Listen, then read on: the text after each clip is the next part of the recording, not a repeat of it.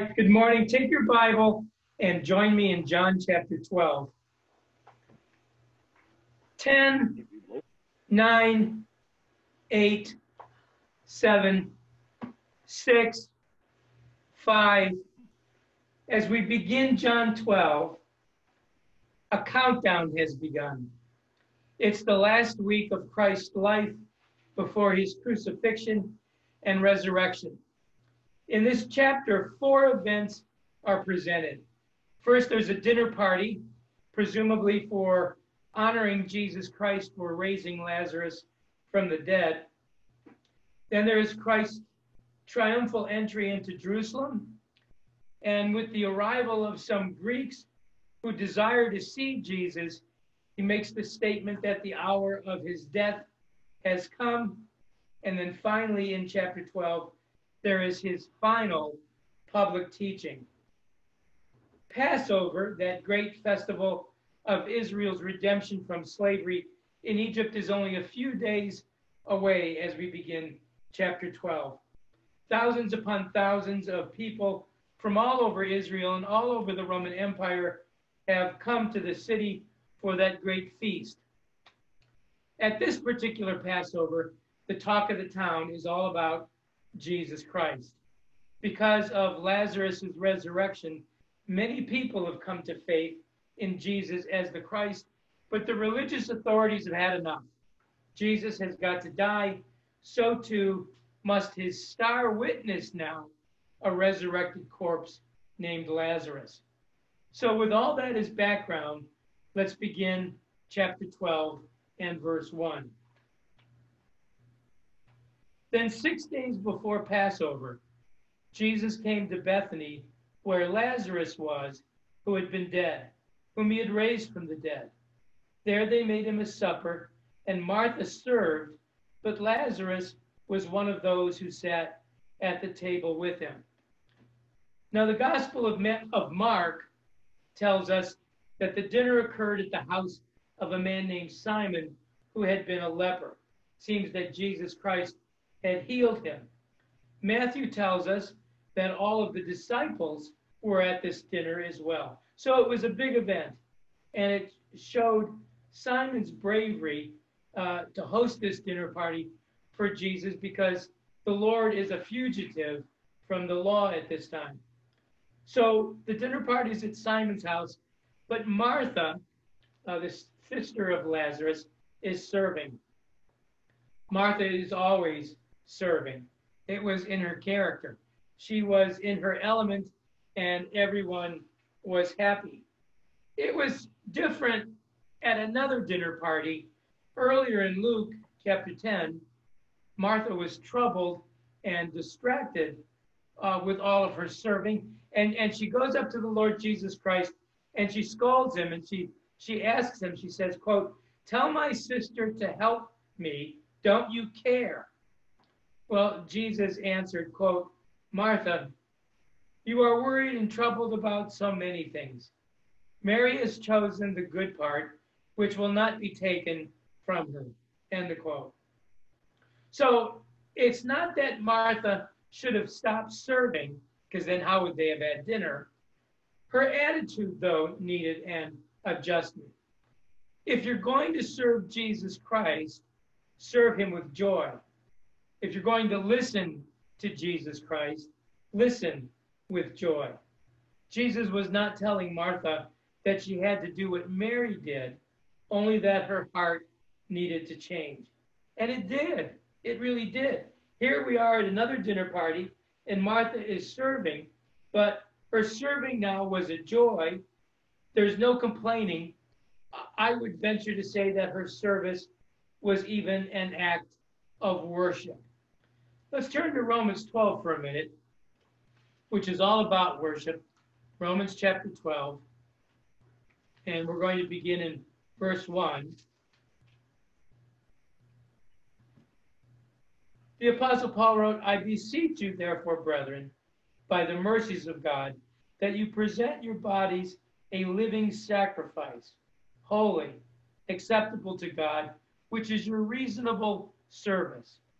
The words reasonable service really can be translated as heartfelt, intelligent worship. So we're to present our body and our mind to the Lord as an act of worship in everything that we say and do. Verse 2 And do not be conformed to this world, but be transformed by the renewing of your mind, that you may prove what is that good and acceptable and perfect will of God. So when when we fill our minds with scripture so that our thinking and our feeling and our doing are all in alignment with God's will, then we think of ourselves in the right way and we humbly and joyfully serve one another. Verse 3 For I say through the grace given to me, to everyone who is among you, not to think of himself more highly than he ought to think, but to think soberly, as God has dealt to each one a measure of faith.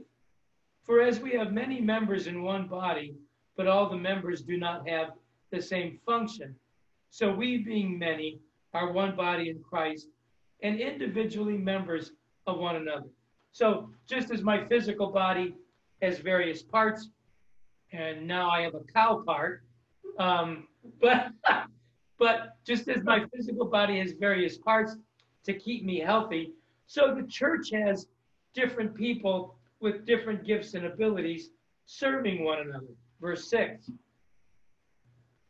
Having then gifts differing according to the grace that is given to us, let us use them. If prophecy, let us prophesy in proportion to our faith. Or ministry. Ministry there means doing anything, like Martha's servant. Uh, or ministry, let us use it in our ministry. He who teaches in teaching, he who exhorts in exhortation, he who gives with liberality, he who leads with diligence, he who shows mercy with cheerfulness. So let's go back to John 12. What that means in, in Romans is that giving a word of prophecy can be an act of worship. Fixing dinner, fixing somebody's car, whatever you're doing, can be an act of worship. Giving of your finances can be worship. Encouraging, leading, showing mercy. Every act of love and service can be heartfelt, intelligent worship. What makes it worship is the reason why you are doing something. So, back in John chapter 12, dinner was going well. Martha was serving. Everybody's talking and munching on the food. And then Mary suddenly does something. In Luke 7, a prostitute does what Mary will do, only in Luke 7, this woman cries tears upon Christ's feet and then wipes them with her hair. But that act must have inspired Mary. So here's what happened John 12, verse 3. Then Mary took a pound of very costly oil of spikenard, anointed the feet of Jesus, and wiped his feet with her hair. And the house was filled with the fragrance of the oil. I really doubt this was a hasty, impulsive act. Mary had thought this through. It flowed from her deep love for the Lord Jesus. And what she did was extremely costly. We learn later that the perfume, spikenard, that the spikenard, uh, the words in Greek really mean true nard. And true nard came all the way from India. So it was very costly. Judas is going to tell us that it cost 300 denarii. A denarii was a day's wage. So if you just think it through in our contemporary terms, we're talking the perfume was 28 to 30,000 dollars. Mary poured out her most treasured possession on the Lord Jesus Christ. It was a huge sacrifice. So too was Martha's work. Mary's worship involved perfume. Martha's worship involved perspiration. All of it was beautiful. All of it was worship. In the Old Testament, in 2 Samuel chapter 24, King David wanted to buy some land that belonged to a man named Araunah. And when Araunah found out about it, he was delighted and said, I'll give you the land. He said that to David. I'm delighted to give it to you for free. But here is how David responded in verse 24, 2 Samuel 24 24. Quote, No, but I will surely buy it from you for a price. Nor will I offer burnt offerings to the Lord my God with that which costs me nothing. End of quote. So I thought about this. What does our worship cost us? And, and I'm not just talking in terms of financially. And I'm not judging anybody, but I am challenging all of us. Not only was the perfume expensive that Mary poured out, but she got down on her knees and undid her hair and wiped Christ's feet with her hair. Hair in that culture was emblematic of a woman's glory. To let down your hair in front of a, a man was an act of open intimacy. Mary is, is saying to the Lord Jesus Christ here, everything that I think about myself, everything I value about myself, my honor, my glory, I pour it all out to you, Lord.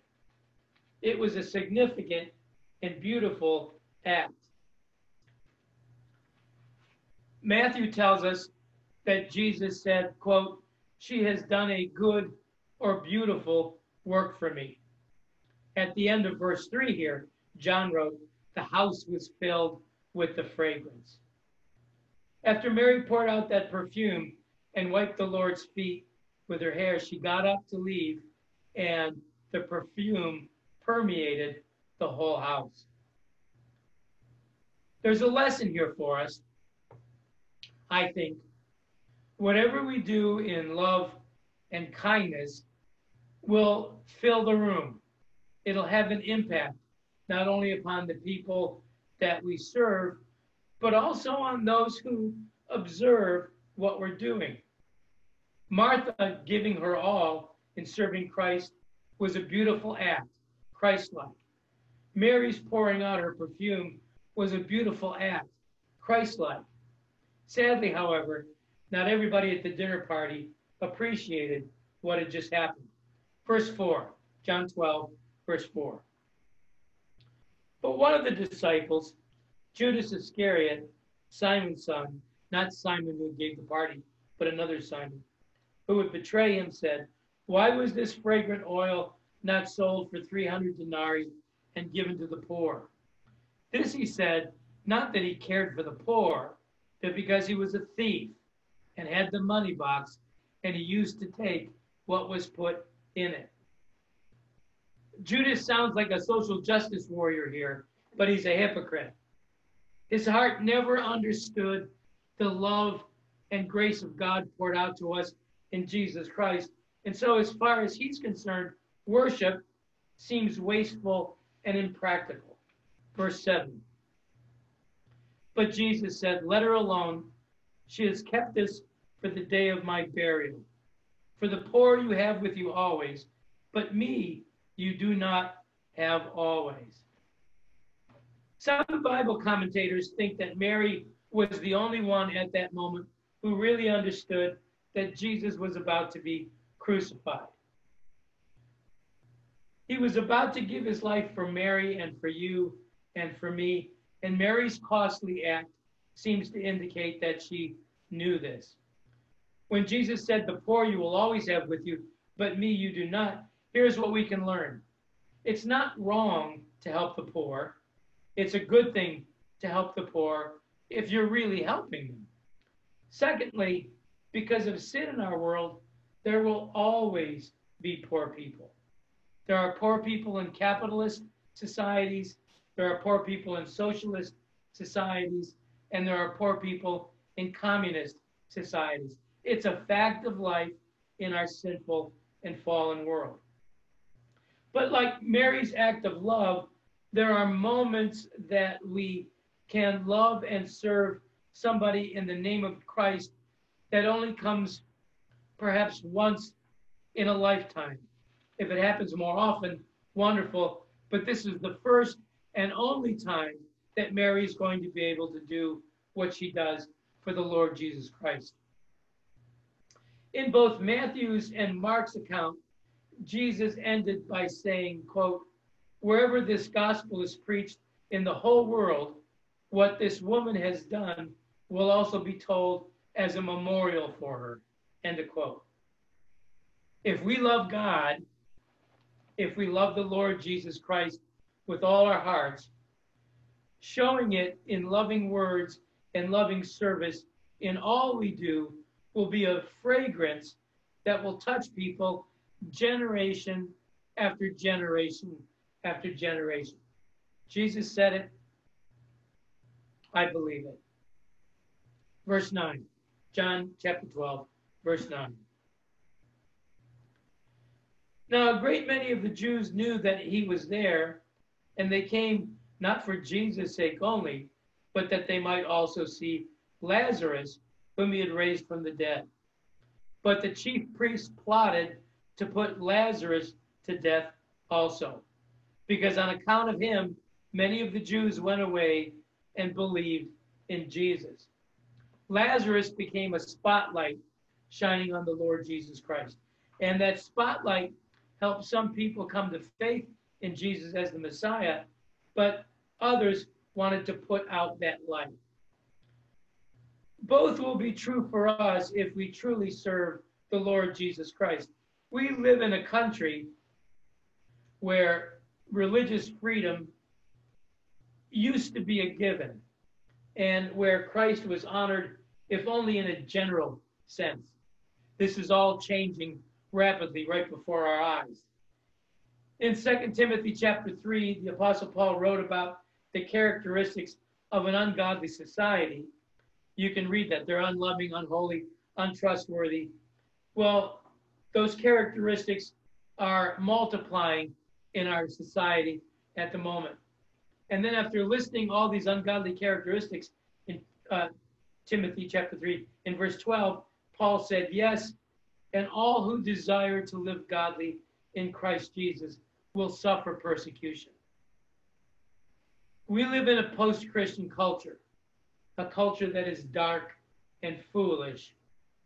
But our heartfelt, intelligent worship in all we say and do will act like a spotlight, like Lazarus's life did.